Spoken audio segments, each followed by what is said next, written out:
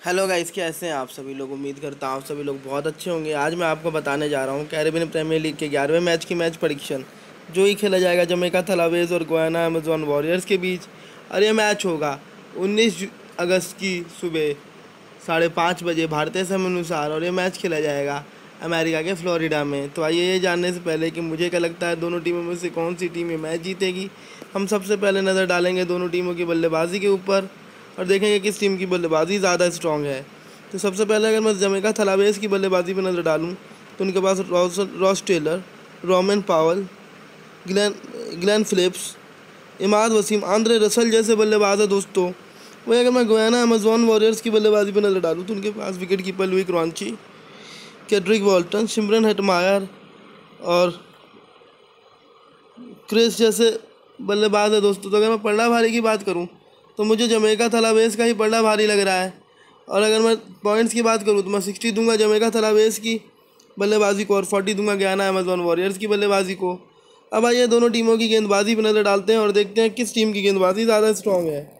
तो सबसे पहले अगर मैं ज्ञाना अमेजोन वॉरियर्स की गेंदबाजी पर नज़र डालूँ तो उनके पास इमरान ताहिर, कीमा पॉल सोयन तनवीर और क्रिस ग्रीन जैसे गेंदबाज है दोस्तों तो और वहीं अगर मैं जमेका थलावेज की गेंदबाजी में नज़र डालूँ तो उनके पास all-rounder Andre Russell Imad Wasim, Samuel Badree, Kemar Roach Krishmar Santokie, Steve Jacobs जैसे गेंदबाज है दोस्तों। तो ये मेरा पर्सनल मानना है कि बल्लेबाजी और गेंदबाजी दोनों में ही जमेका थलावेज का पल्ला भारी है।